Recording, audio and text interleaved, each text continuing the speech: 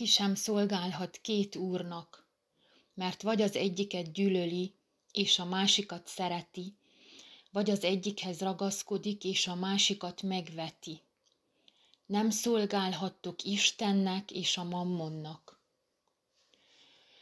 Aki ismeri Isten szavát, és komolyan veszi Jézus tanítását, az nagyon, de nagyon meg kellene ijedjen ezeknek a szavaknak a súlyától, mert félelmetesen nagy tanítás van bennük. Megérthetjük, hogy két ellentétes nézetet képviselő úrról beszél Jézus, akiket ugye szolgálhatnak az emberek, és így kijelentve, hogy vagy egyik, vagy a másik, világosan megérthető, hogy mindkettőnek hatalma van. És az egyik úr, ugye Isten, aki az eget és a földet és a benne lévőket teremtette. És a másik úr a mammon, a démoni hatalom, aminek a jelentése pénz, földi javak, értékek, vagy akár sátán, ha így jobban szeretitek. És honnan való a mammon? Honnan lett ő olyan nagy úr, akinek szolgáló tábora van? Hát az emberi engedetlenség, az Istennek nem alárendeltség hozta létre. Az növesztette ilyen nagyra, az adja a hatalmat neki, egy szóval az élteti. És a tény, amit Jézus mondott, hogy nem szolgálhattuk egyszeriben mind a kettőnek, örökérvényű. És azt jelenti, hogy vagy, vagy. Választani kell, dönteni, és nem lehet kimagyarázni, vagy összemosni a kettőt és én a napokban ezen, ezen a témán rágódtam, és fájdalomban voltam, mivel látom Isten kegyelméből, hogy a vallásokban ragadt embertársaim mekkora önámításban vannak, mekkora vakságban, és hogy nem értik meg ezt az egyszerű mondatot, hogy nem szolgálhattuk egyszerre két úrnak mert rögtön azt vágják rá, hogy hát jó, jó, én felteszem a maszkot, meg oltatok, de az nem azt jelenti, hogy én nem Isten szolgálom, mert a papok, a pápa, ezek csak tudják, hisz kapcsolatban vannak Istennel. És amint ezen rágódtam, jött a kérdés, hogy Istenem, hogy merik ezt megtenni a vallási vezetők? Hogy mernek ennyire nyíltan szembe menni Istennel? És akkor hirtelen bevillant az a mondat, amit a hitető, az ősi kígyó sugalt az ember elméjébe, hogy olyanok lesztek, mint az Isten. És kirázott a hideg, hogy ez az, ez az, amivel ennyire megfertőztetett az elméjük és a szívük, és éreztem, hogy teljesen elgyengülők. És ez körülbelül délután négy-öt óra felé lehetett, és attól fogva egyre rosszabbul kezdtem érezni magam, fizikailag is. Nem múlt el a hideg rázásom, Fájni kezdett a fejem, a csontjaim, az izmaim, és belázasodtam. És uh, elég korán le kellett feküdnöm, mert úgy éreztem, hogy nem bírom ezt a betegséget. És akkor most megpróbálom elmondani nektek, hogy mit éltem meg azon az éjjelen, és hogy milyen hatalmas dolgokat és felismeréseket adott Isten nekem ebben az állapotban. Tehát annyira megérintett lelkileg ez a felismerés, hogy fizikailag is fájdalmat éreztem A láz egyre jobban eluralkodott a testemben, szinte égtem, de ugyanakkor fáztam, mert hidegrázásom volt. Ezért nyakig betakaróztam, és arra gondoltam, hogy ha elalszok, akkor jobb lesz, mert hamar meggyógyulok. De nem jött a megmentő álom. Csak szorítottam a szemhéjamat, hogy hát, ha el tudnék aludni. És uh, nem engedte Isten, hogy elaludjak. Mondhatom, hogy csak reggel felé sikerült egy keveset aludnom, és rettenetes éjszakát éltem meg. Néha arra gondoltam, hogy ez itt a vég, hogy én még soha ilyen beteg nem voltam, és biztos nem élem túl. Most így utólag, amikor sikerült feldolgoznom valamennyire, és átrágnom magam ezeken a dolgokon, áldom Istent, hogy ezt tette velem. De akkor kértem, hogy vegye el tőlem, vagy engedje meghalni. Hatalmas felismerések, megértések jöttek. Annyira fájdalmasak, hogy valóságosan viaskodtam Jézussal. Pont mint ahogy le van írva a Jákob története, aki hajnalig küzdött egy férfiúval, aki végül megáldotta őt és megszabadította a lelkét. Ugye tudjuk a történetet, hogy Jákob félt találkozni a testvérével, Ézsauval, akitől, ahogy a neve jelentése is mondja, csaló módra ellopta az első szülöttségi jogot. Csúnyán átverte az apját is, kikényszerítve tőle az atyai áldást, hazugsággal is és csalással. És amikor egyedül maradt Jákob a vízparton, akkor kezdett tusakodni vele valaki, akiről ő azt mondja, hogy színről színre láttam Istent mert fájt a múltja, amit tett, és félt a testvére szemébe nézni. Ugyanakkor attól is félt, hogy kizárja magát Isten kegyelméből a múltbeli csalása miatt. Tehát a küzdelme, a ráváró feladat elől való menekülés, és az Isten bocsánatáért és áldásáért való küzdelem is volt egyben és elmondhatom, hogy valamiképpen ezt a helyzetet éltem meg azon az éjszakán, amit teljes ébrenlétben töltöttem, viaskodván magamban, hogy én is ahhoz az egyházhoz tartoztam, amelyikről Jézus mutatta nekem a képeket, és adta a szavakat. És hallottam az ítéletet, a saját hangom által. És fájt, hogy én is részt vettem ezekben a fürtelmességekben, amelyeket az igazság megvilágításában mutatott meg nekem. És viaskodott a testem, ellenkezett, hogy felfogja ezeket a dolgokat. És retteget, hogy nyilvánosan elmondja, pedig ezt akarta Jézus. Hogy egy súlyos talán az egyik utolsó ilyen figyelmeztetést intézze a katolikus egyházban lévőkhöz, mert megérett a nagy paráznának a pusztulása, és a, sajnos aki benne marad abban a hazugságban, amiben a katolikus egyház, ugye a szent, a megkérdőjelezhetetlen, a megingathatatlan benne tartja, az mind vele együtt pusztulni fog. És ezért küzdöttem. Befogtam a két kezemmel a füleimet, teljesen betakaróztam, csak hogy ne halljam a hangot, ami szünet szakadatlan mondott. Nem akart elhallgatni. És az az érdekes, hogy a saját hangomat hallottam. Én voltam, aki mondott, és én voltam, aki menekülni akartam. Hogy Istenem, hagyd abba, én nem bírom ki ezt.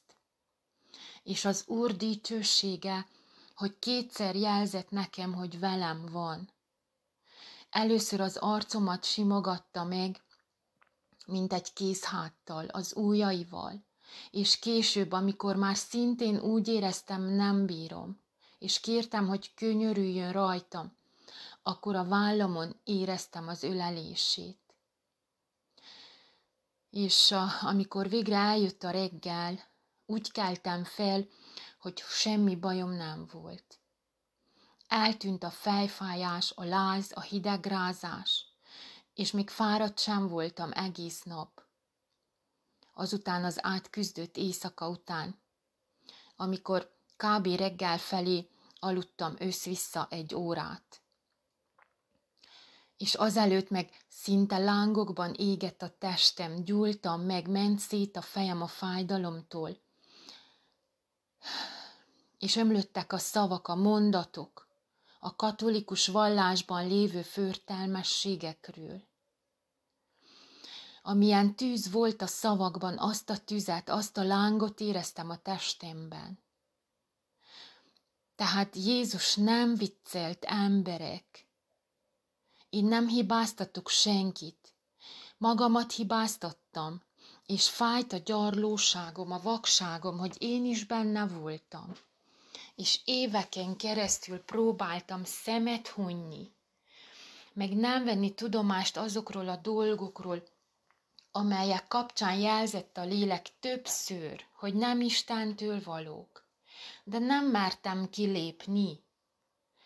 Addig, amíg meg nem engedte Isten a maszkviselést a templomokban mert akkor kezdtem kérdéseket feltenni, és akkor tudott Jézus meggyógyítani a vakságból, amikor hozzáfordultam.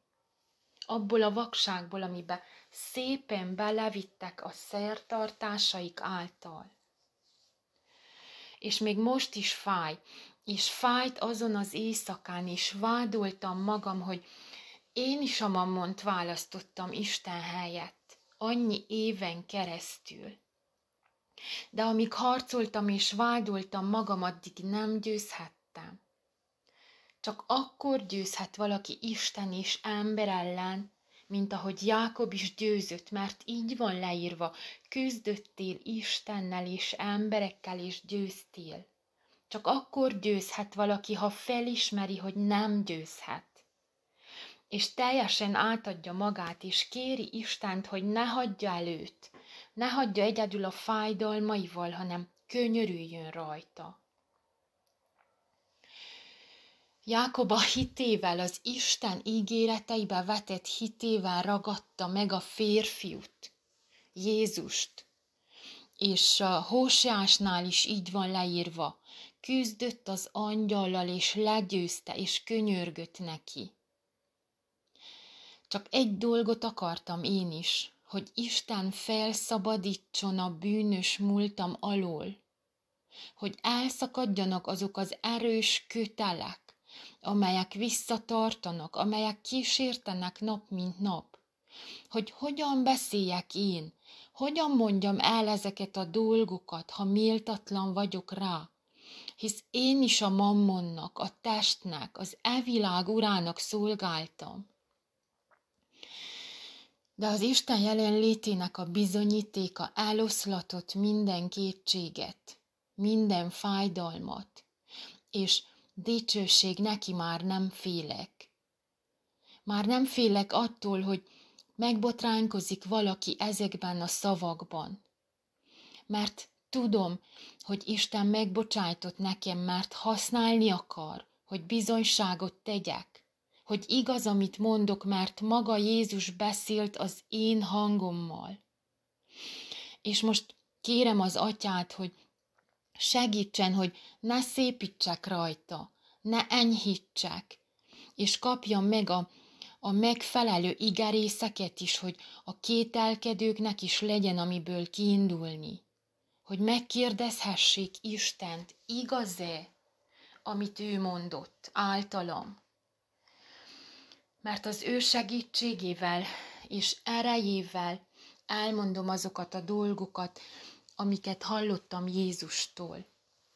És nem ez az első alkalom, hogy úgy tűnik, hogy a katolikus egyház ellen beszélek. de nem ellene beszélek, hanem érte, az azokért az emberekért beszélek, akik még mindig hisznek a katolikus vallásban, és hisznek a pápában. Isten könyörüljön rajtam és rajtuk és mindenkin. Ne félj, hanem szólj és ne hallgass. Így bátorított az Úr, és attól fogva a saját hangomat hallottam, amint égetett, mint a tűz.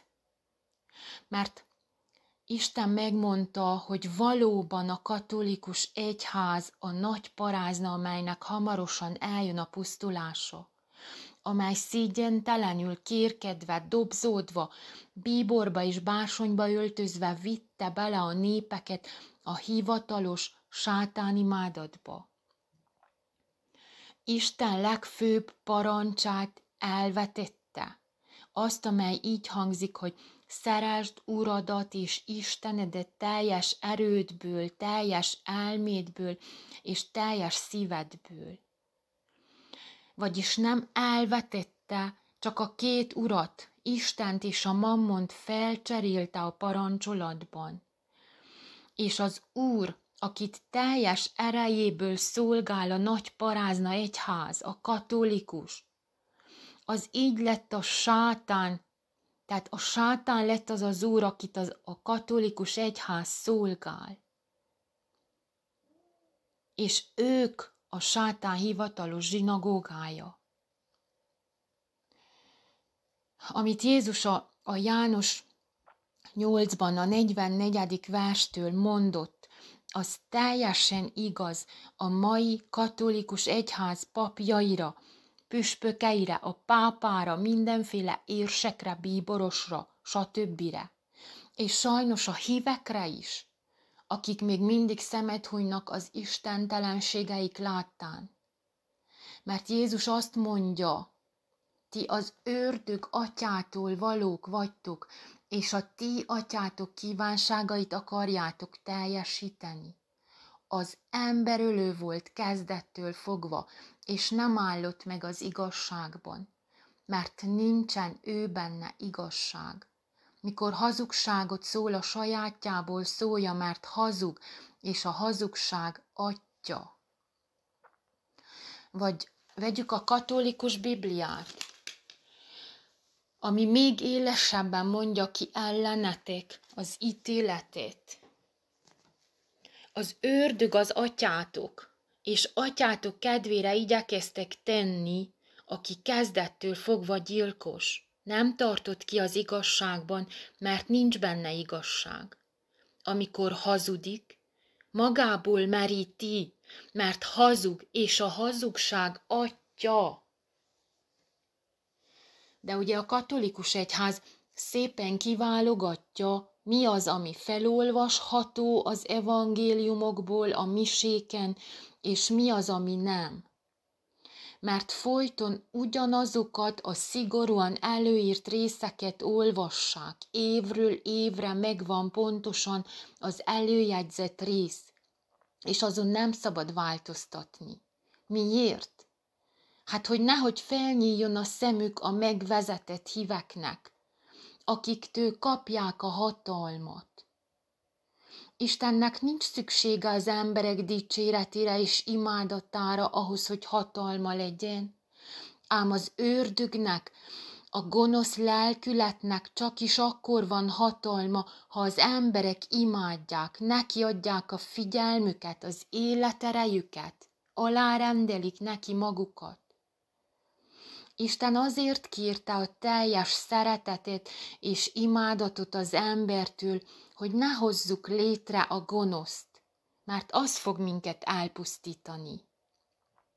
Mert egyébként nem is létezhetne az ördög, meg a sátán, meg a fenevad, ha az emberek gonosz lelkülete nem hozta volna létre, és nem éltetni azt.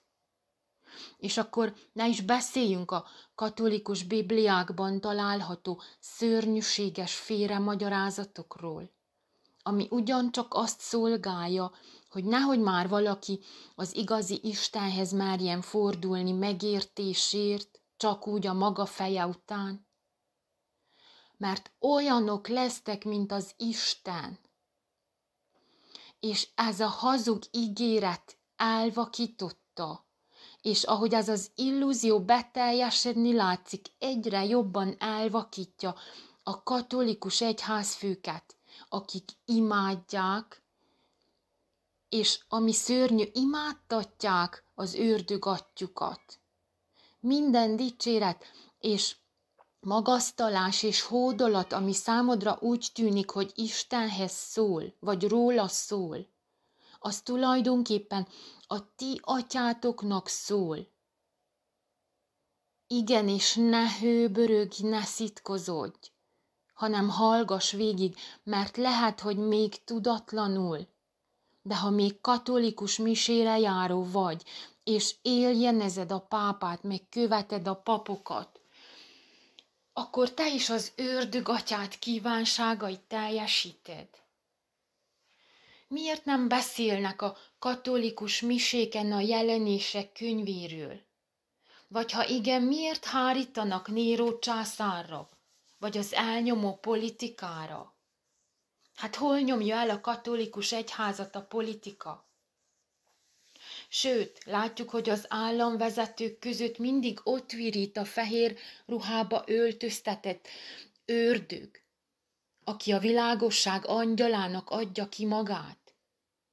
És nem félek kimondani, hogy az a pápa, mert nem én mondom. Maga Jézus jelenti ki, hogy az égig hatottak az ők bűneik. Hát a politika finanszírozza a grandiózus templomok építéseit. És álljunk meg egy szóra az apostolok cselekedeteinél. A 17. résznél, amikor Pál Athénban járt, ahol is látta, hogy a város bálványokkal van tele. Mert Isten szemében utálatos minden faragvány, minden emberi kéz alkotta szobor, amelyekkel telerakják a templomokat, amulettek vagy kegytárgyak, ahogy nevezik a műtyüröket, amelyektől meggazdagodtak a föld kézművesei, és kárpitosai és muzsikusai, stb. Pál, amikor látta az ismeretlen Istennek emelt oltárt Athénban, így szólt a népekhez. az Isten, aki teremtette a világot, és mindazt, ami abban van, mivel hogy ő mennek és földnek ura, kézzel csinált templomokban nem lakik, sem embereknek kezeitől nem tiszteltetik, mintha valami nélkül szűkölködnék, holott ő ad mindeneknek életet, leheletet és mindent.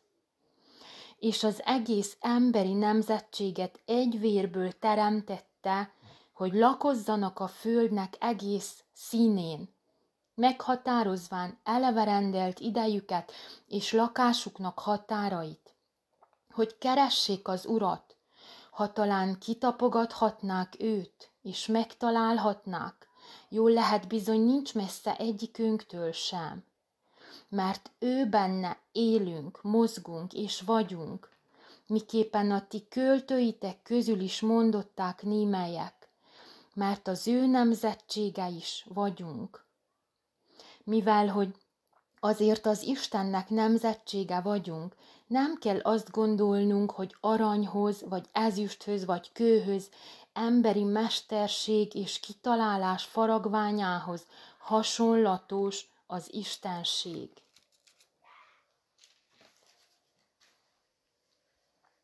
És mind a mai napig utálatosság Isten szemében, hogy kőből meg fából faragott szobrok előtt hajlongtok. A halott Jézusos keresztet meg a kézzel készített ostját hordozzátok, mintha Istent be lehetne zárni, meg lehetne fogni. Hisz ő ő van jelen mindenben. A szobrokkal meg festményekkel kápráztatjátok el a népeket, kimagyarázván, hogy csak jelkép, és segít eszünkbe juttatni a szentek erényeit, a hitüket, a bátorságukat. Hát förtelmességek. Isten a szívünkbe adta az ő törvényeit.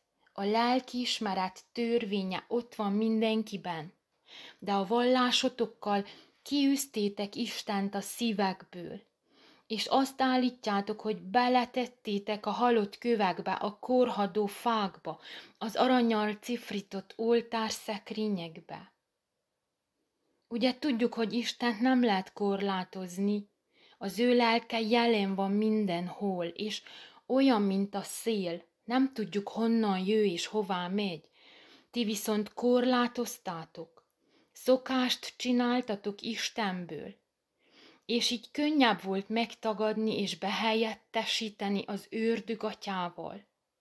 Mert az valóban oda való, szokásokba, faragványokba, pont mint az ószövetségi aranyborjuk meg a többiek, akiknek igazi erejük soha nem volt, és nem is lesz.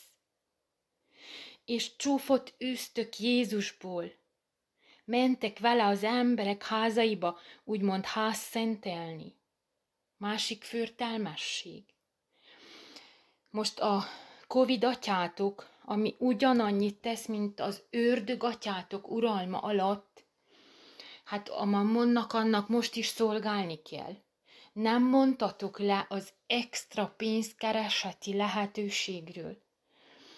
De nem mondhattok ellent a világi törvényeknek engedelmeskedni kell a fenevad parancsainak, mert ugye abból élősködik a parázna. Attól dobzódik. Ezért nyíltan megvádoljátok Jézust, hogy nem oltatott, és vírus hordozónak lett nyilvánítva a feszület, amivel mentek házszentelni. Így a szokástól eltérően a júdás csókot, amelyet a kezetekkel hordozott Jézusnak követeltetek mostanig, most megváltoztattátok. Kiki csókolja meg az ő Jézusát. Vegye elé otthon a fiókból a Jézus feszületet, és a házszentelési hókusz-pókusz alkalmával árulja el a saját Jézusát. Mert úgyis van mindenkinek egy otthon a fiókban mert megjezgettétek az embereket, hogy aki nem vesz feszületet, meg szent képeket, és ikonokat, meg medálokat, és szentelgyertyát, azt természeti csapások fogják írni. És uh, elérkeztünk ismét a, a fenevad tervéhez, a Covid fürtelmességhez, amiben persze, hogy részt kellett vállalni. Tegyük fel a maszkot, mondtátok a híveknek, mert megbüntetnek, ha nem tartjuk be a járványügyi előírásokat. És ha tovább nem megyünk is, ez már ismét elég, hogy bebizonyosodjon, hogy melyik úrnak szolgáltok. Mert ha megbüntetnek, pénzbe kerül. Vagy az is lehet, hogy megvonják a juttatásokat, vagy bezárják a templomot. Ja, pénz, vagyis mammon, hát akkor inkább tagadjuk meg Istent. Ő úgy is szereti az embereket, mert neki ez a gyenge pontja, és majd megbocsájt. De megtagadni a mammon Istent? Na azt nem. Hát mi lesz a kényelemmel, a jó meleg, puha karos székkel, az emberek dicséretével, stb. Mert hát nincs hitetek, hogy is lehetne hitetek, ha az őrdög atyától valók vagytok? Mert Jézus így folytatta a János nyolcban. Aki az Istentől való meghallja az Isten szavát. Ti azért nem halljátok meg, mert nem vagytok az Istentől valók. Ti inkább engedelmeskedtek a földi, az evilági törvényeknek, amelyek hetente változnak, mint hogy az Isten örökérvényű törvényeinek, annak a kettőnek, amely magába foglalja az egészet, és biztosítja számunkra az örök életet. Ha katolikus vagy, és még mindig maszkban imádod Istent, vagyis azt hiszed, hogy az igazi Istent imádod, akkor tévedésben vagy az ők istenüket imádod, az ördögöt, a sátánt, az evilág fejedelmét imádod. Miért kell a pápának a világvallás? Miért sietteti ezt a kriszlám szövetséget? Hát mert kell neki a hatalom, hogy muszlim vagy zsidó vagy hindu nem számít, mind egy vérből teremtetett, azt mondja Pál.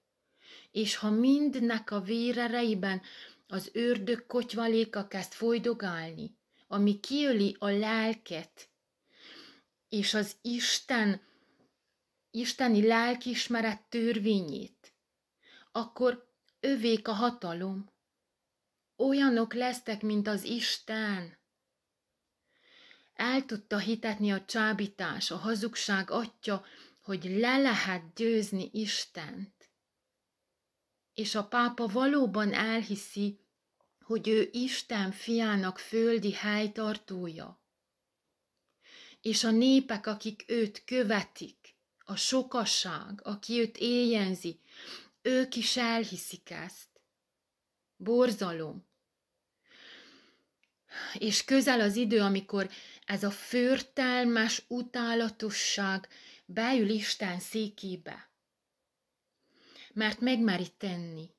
Az ördög semmitől sem riad vissza, mert már nincs sok ideje. Emberek, nagyon közel van, és mindent egy lapra tett fel. Most ugye örültök, mert azt lehet hallani, hogy sorban felszabadítják az országokat a, a Covid terrorizmus alól, és már nem kell zöld kártya, lehet menni vissza a világba. Hát ne örüljetek, mert ez egy csapda. Ugye kezd kiderülni, hogy 80-90 százalékban oltott országokban tombol a betegség, rengeteg a mellékhatás, a haláleset az oltások kapcsán, és az emberek hőbörögnek. Hát nem hagyhatják, hogy most romba dőjön a Bábel torony, most, mikor már nem lenne sok hátra. Ez egy csapda emberek, nem menjetek vissza a világba, a testbe. Ez emberölő volt a kezdetektől fogva, és nem állott meg az igazságban, mert nincsen ő benne igazság. Ha mostanig hazudott össze-vissza, most miért mondana igazat? Hát mert készül a végső csapásra, ne higgyétek, hogy igaz, amit szól. Mert amikor azt mondják, hogy béke és biztonság, bőség és jólét, na akkor tör rájuk a veszedelem, mint a fájdalom a szülő asszonyra. Ugye az őrtük, a kísértő is ismeri Isten szavát, nemhogy a követői, mert Isten szavára hivatkoznak, amikor azt mondják, oltatni kell, távolságot kell tartani, maszkot kell tenni, hogy nehogy megbotránkoztassuk az embereket, hogy mi ezeket nem tesszük meg. Kit, a bűnöst nem akarod megbotránkoztatni? Hát a gyermekekkel mi van? A tiszta, ártatlan gyermeket nem botránkoztatod meg? Jobb, ha elővesszük a malomkövet és a nyakunkba kötjük, Jézus szavaival élve. Mert a gyermek tudja, hogy van egy védelmező, mindenható Istenünk, akit te a maszkoddal, az oltásoddal, a szavaiddal és a cselekedeteiddel egy az egyben megtagadsz és megvetsz. és hárfásoknak, és muzsikásoknak, és síposoknak, és trombitásoknak szava te benned többé nem hallatik, és semmi mesterségnek mestere nem találtatik többé te benned, és malomnak zúgása sem hallatik többé te benned, és szövétneknek világossága többé te benned nem fénylik, és vőlegénynek és menyasszonynak szava sem hallatik többé te benned, mert a te kalmáraid valának a földnek fejedelmei, mert a te bűvöléseitől eltévejettek mind a népek. És abban a profétáknak és szenteknek vére találtatott, és mindeneknek, akik megölettek a földön. Mert abban profitáknak és szenteknek víre találtatott, és mindeneknek, akik megölettek. Mert ugye, aki megmerte cáfolni a hivatalos sátán imádatot, azt eretnekként megülették, elevenén elégették, ártatlan gyermekeket taszítottak a halálba a történelem folyamán, és ma is Jézus nevében. Mert így lehet imádatot kikényszeríteni. És most már tudjuk, miért olyan fontos az őrdögnek az imádat. Mert így jut hatalomhoz, másként nincs neki. És miért olyan fontos az őrdögnek a bűn? Mert csak így tud létezni. Az elkárhozott lelkek éltetik a pokoli erőket. Könyörgök, emberek, ébredjetek fel, kérdezzétek Jézus Krisztust, kérjetek tőle látást, mert hamarosan elpusztul a nagy parázna, és Jézus megint csak azt mondja, fussatok ki belőle, én népem. Ja, és uh, hogy megbolondultam-e? Igen, megbolondultam Jézus Krisztusért és az ő országáért.